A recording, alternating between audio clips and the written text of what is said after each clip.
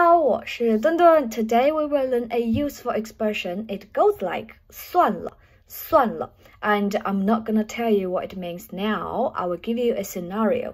For example, it's almost 五一假期 in China. 五一 means May 1st. 假期 means vacation. So because of International Labour's Day, we will get a five days off, I think normally.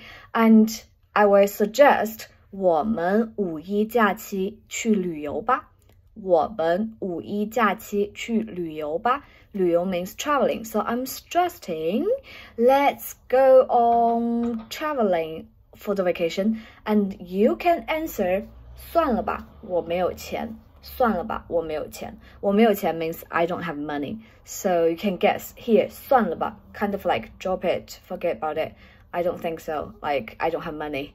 And also you can say 算了吧，人太多了。 算了吧，人太多了。So in here 人太多了，too many people. So you also give up the thought. You say drop it, forget about it. There are too many people.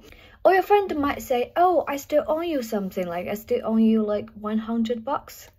我还欠你一百块钱。我还欠你一百块钱。Then you will say, 啊，算了，forget about it. 算了，like means 啊，never mind, it's okay. 算了。 or you ask your friend to buy something for you in the supermarket. You can say, 你可以帮我买牛奶吗？你可以帮我买牛奶吗？Can you buy the milk for me? And they will say, Oh, I might have to go there at night but you can't wait, then you can say 算了，我自己去。算了，我自己去。Forget about it. I will just go by myself. 算了，我自己去。Or you invite your friend to do something. They always make up so many excuses. Then you will say forget about it. 算了，我自己去。I will just go by myself. 算了。So remember, 算了 is a really useful expression in Chinese. That's all for today. 再见。